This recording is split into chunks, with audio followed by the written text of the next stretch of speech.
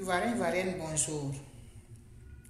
Nous sommes aujourd'hui dimanche 26 janvier et je fais ce petit direct pour réagir euh, à l'actualité de la Côte d'Ivoire relativement au feuilleton de la marche priante de l'Église catholique.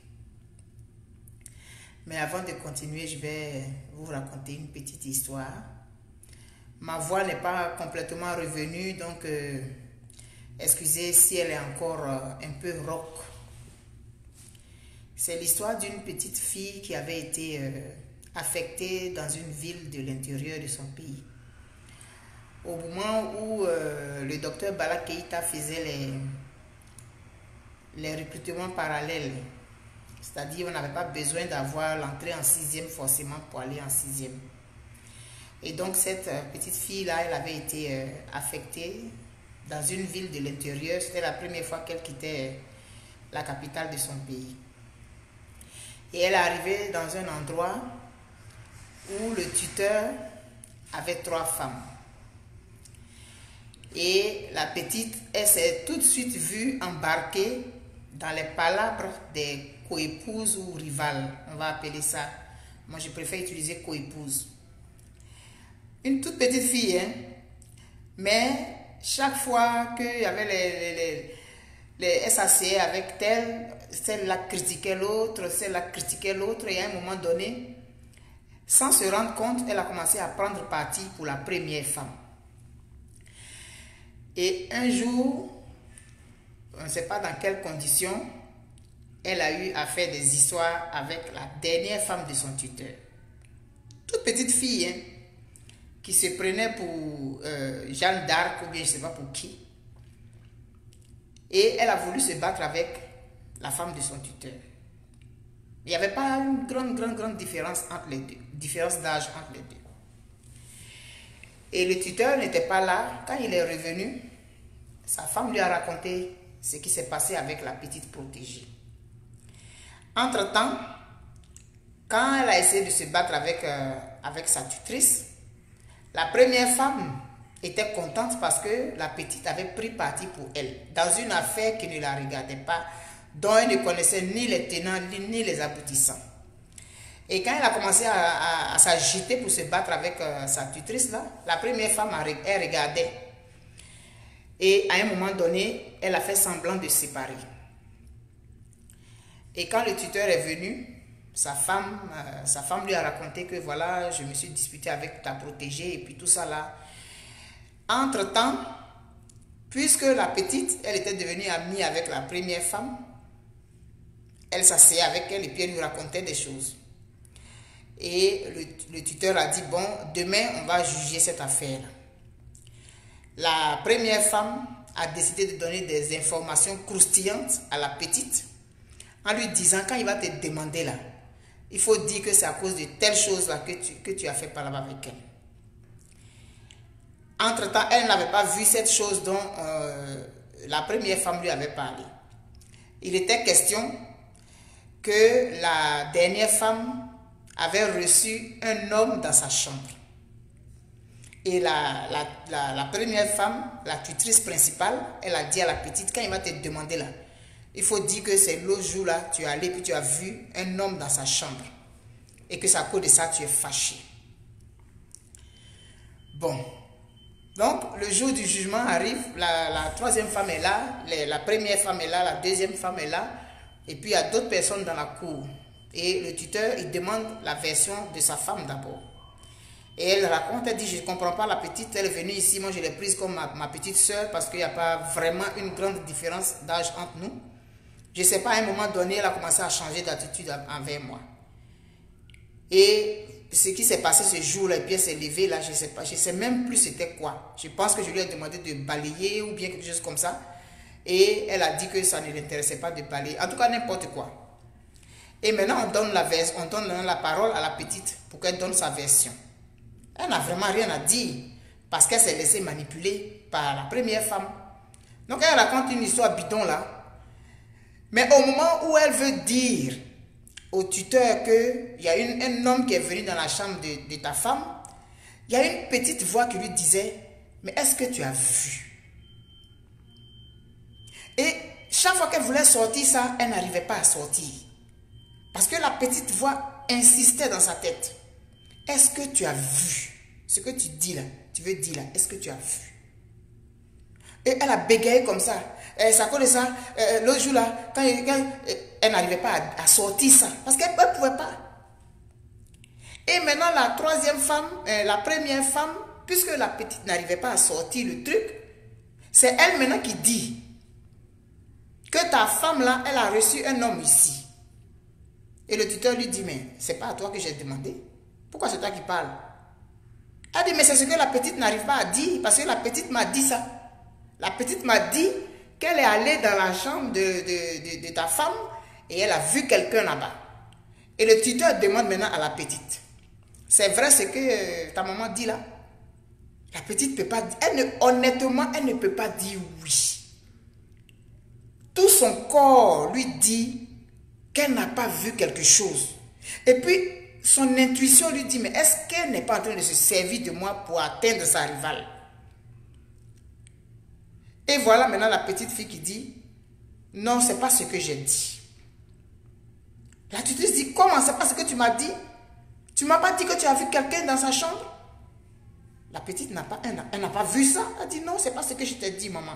Parce qu'elle appelait maman. Elle dit, c'est pas ce que je t'ai dit. Et c'est là maintenant que le tuteur qui, lui, qui dit à sa femme, j'ai l'impression que tu voulais te servir de la petite là pour atteindre ta rivale.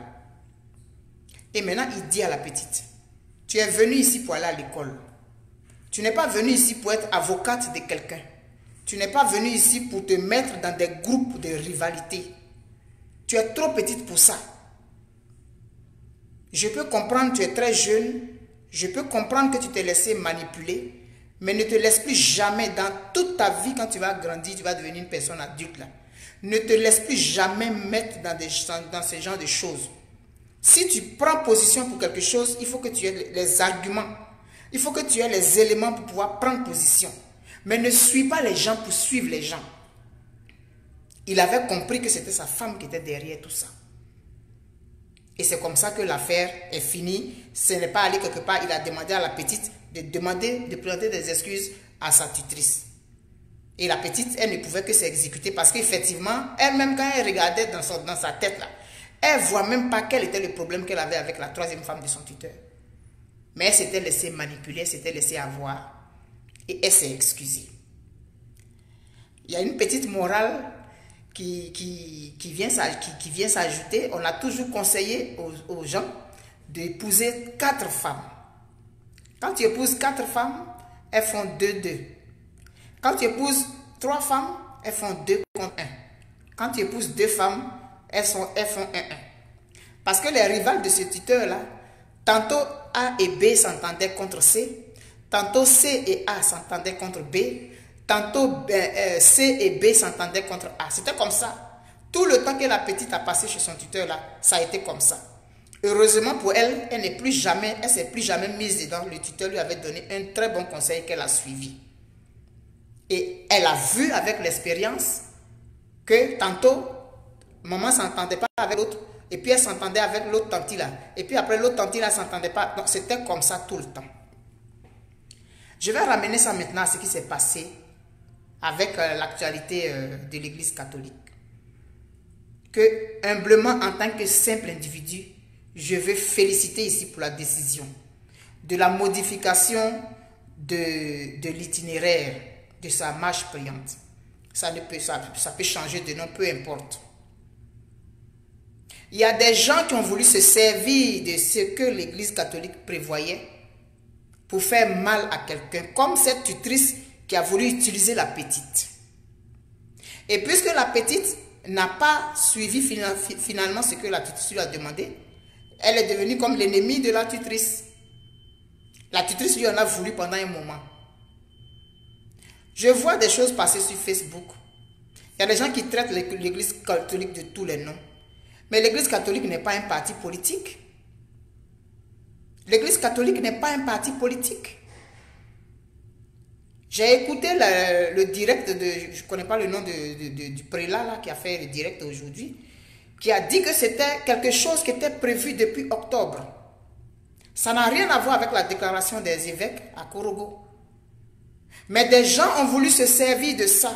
Ils ont voulu, de façon euh, opportuniste, se servir de ça pour atteindre leurs objectifs. Les politiques n'avaient pas à dire à, leurs militants d'aller à cette, marche priante. Parce que leurs militants sont des militants politiques. Ils ne sont pas avec eux parce qu'ils sont chrétiens ou parce qu'ils sont ceci, cela. Donc déjà, le fait d'avoir dit à leurs militants d'aller se mettre dans cette marche, ça biaisait déjà l'objectif de l'Église catholique. Mais ce que ces gens qui jubilent aujourd'hui, qui pensent que l'Église catholique a reculé ou bien ils ont gagné une victoire, c'est l'Église catholique qui vient de gagner une victoire sur ce gouvernement. Ce gouvernement qui a démontré son, son mauvais côté en envoyant ses chiens de garde. Il a démontré que c'est lui qui est contre la paix. En voulant utiliser une marche paisible, chrétienne, en voulant l'utiliser et puis faire de ça une guerre interreligieuse, essayer d'utiliser ça pour faire, merci beaucoup Evelyne Kouakou, le père Augustin Oubrou. Il a dit que c'était prévu depuis le mois d'octobre. Donc ça n'a rien à voir avec la déclaration des évêques. Pourquoi on fasse euh, euh, euh, un, amalgame? Et ils ont bien fait de reculer. Mais ce n'est pas, une pas un recul parce que c'est pour éviter qu'il y ait des débordements effectivement. Parce que ces gens-là, ils n'ont rien à perdre. Mais ils ont démontré qui ils sont véritablement. Ils ont démontré que c'est eux qui sont contre la paix. Quand un individu comme Al-Mustafa, tout sûr de lui, fait une vidéo qui met sur Facebook et il interdit cette marche, ça veut dire ce que ça veut dire. Quand des désœuvrés font des vidéos avec un français approximatif pour menacer de paisibles chrétiens, ça montre que c'est eux qui sont contre la paix. C'est eux qui se sont déculottés. L'Église catholique vient de marquer un grand point sur eux. Et aujourd'hui, nous savons que c'est eux qui sont contre la paix. Ceux qui sont au pouvoir, c'est eux qui sont contre la paix. Alors félicitons l'Église catholique. Maintenant, moi, le conseil que je vais donner en tant qu'être humain, en tant que simple être humain, en tant qu'observatrice de ce qui se passe dans son pays, que cette prière-là se fasse dans toutes les églises catholiques. Parce qu'ils avaient prévu faire, ils avaient prévu euh, drainer 20 000 personnes.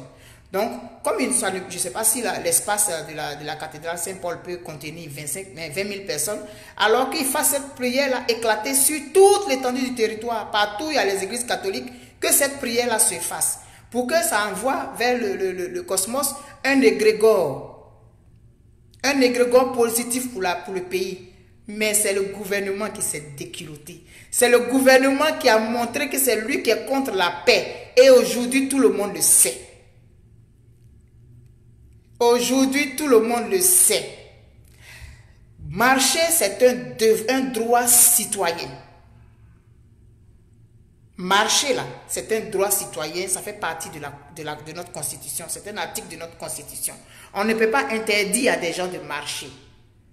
Maintenant qu'on envoie des chiens enragés venir faire des déclarations, des publications sur Facebook, ils ont montré que c'est eux qui sont contre la paix. C'est eux qui se sont déculottés. C'est une, une, une, une victoire pour l'Église catholique que j'applaudis pour sa sagesse. Parce qu'on n'aurait pas pu contenir ceux qui allaient venir s'infiltrer là. On ne sait pas qu'est-ce que ça allait devenir. Et des gens, l'Église catholique allait avoir sur, sur sa conscience la mort de certaines personnes. Parce que ceux-là, ils sont prêts à tout.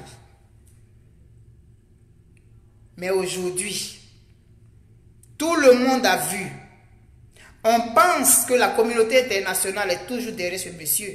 Mais chaque jour qu'il pose un pas, il s'enfonce. Regardons seulement. On va voir jusqu'où ça va nous mener. Donc, ne, ne, ne, pensez pas que les, gens n'ont pas de couilles, ils ont eu peur, ils ont fui, ils ont... Non, l'Église catholique n'est pas un parti politique. Mais les gens ont voulu utiliser ça. Les gens ont voulu jouer aux opportunistes. Ils ont voulu utiliser ça pour atteindre un objectif, mais ce n'est pas comme ça que ça fonctionne. C'est pas comme ça que ça fonctionne. L'Église catholique, elle s'est montrée responsable. Non, nous, on voulait juste faire une prière.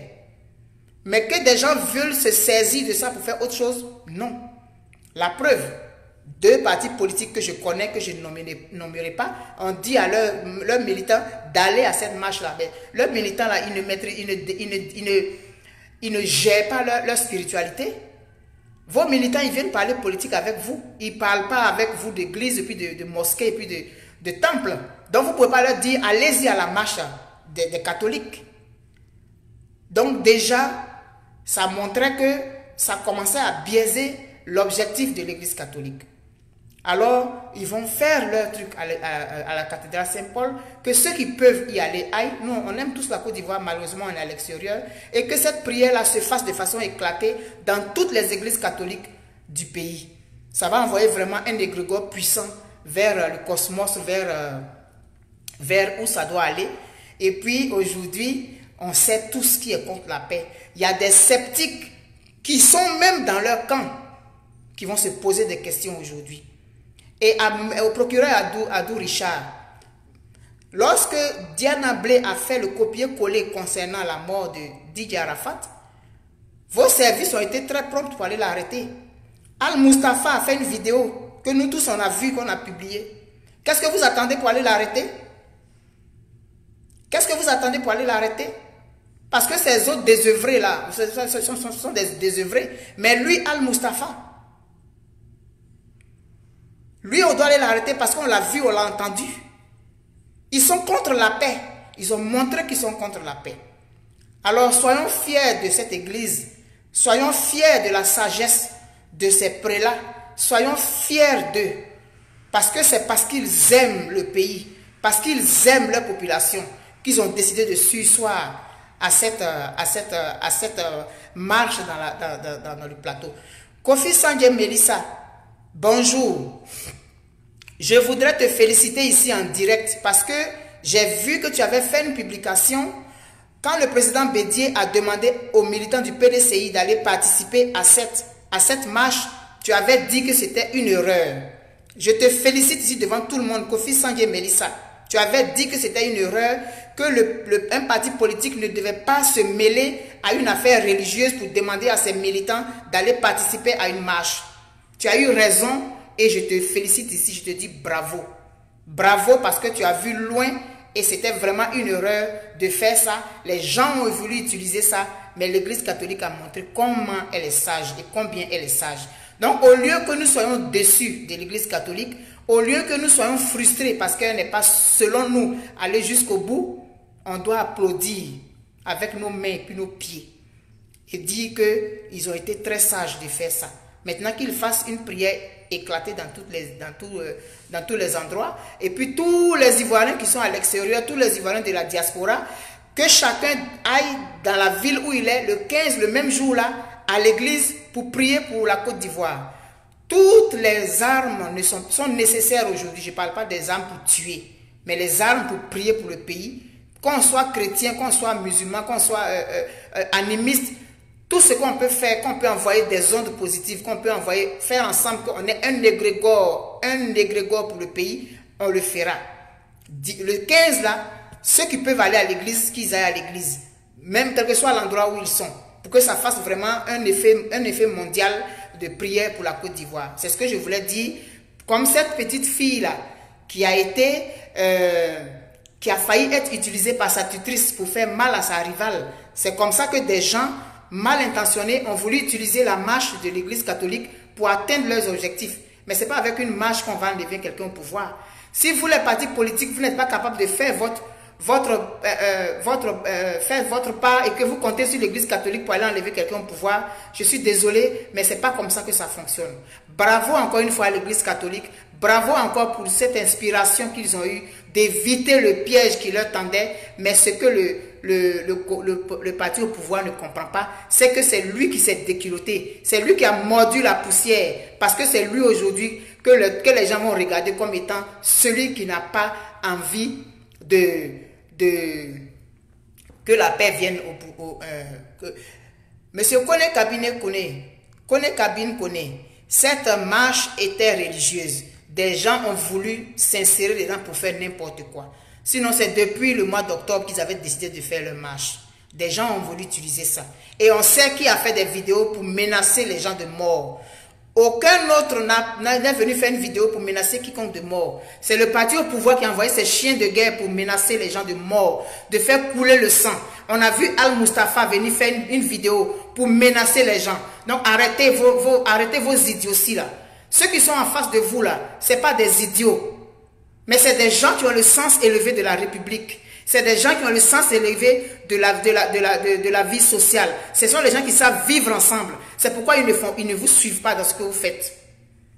Parce que quand on veut vivre ensemble dans un environnement, on ne se comporte pas comme, comme ceux qui sont en face se comportent. Désolé. Mais la paix en Côte d'Ivoire, elle viendra. D'une manière ou d'une autre, elle viendra. Et à un moment donné, les Ivoiriens, ils se, ils se retrouveront. Nous n'avons pas le choix que de nous retrouver. Parce que quand nous voyons qu'en face de nous, nous avons ce type de personnes, on ne peut que faire en sorte que nos rangs se resserrent. Je vous souhaite une très bonne journée. Le piège a été évité. Bravo à l'Église catholique. Et maintenant, que des messes se fassent dans toutes les églises catholiques de Côte d'Ivoire, que les messes se fassent dans toutes les églises du monde entier, toutes les églises catholiques du monde entier, là où il y a un Ivoirien, même si tu es seul quelque part dans une ville, tu vas dans une église catholique le 15 février, tu vas prier pour ton pays. On va le faire tous. Moi, je ne suis pas catholique, mais le 15, là, je vais aller à l'église pour aller prier pour mon pays. Je vais aller envoyer un, un, égrégore, je vais participer à l'égrégore du 15. Donc tout le monde, quel que soit le pays où on est, si on a la possibilité d'aller à l'église, même si on veut rester chez nous à la maison, que le 15 février, là, nous envoyons tous des ondes positives euh, envers notre pays. Kofi Boussou Noël Nguessan. C'est peut-être aujourd'hui que tu me découvres. Sinon, je suis sur Facebook depuis 2010. Et puis depuis 2017, je fais des vidéos pour la Côte d'Ivoire. Donc peut-être que c'est toi qui ne sais pas qui je suis. Sinon, moi, je sais de quoi je parle. Et donc, quand vous venez faire des commentaires sur les vidéos des gens, faisons un effort pour être courtois. Parce que vous qui pensez que vous parlez mal, on ne va pas à l'école, il n'y a pas d'école où on apprend à parler mal. C'est l'éducation qu'on reçoit qui fait qu'on est courtois dans nos commentaires. Ce n'est pas toi qui vas venir me dire que Ouattara n'aime pas la paix.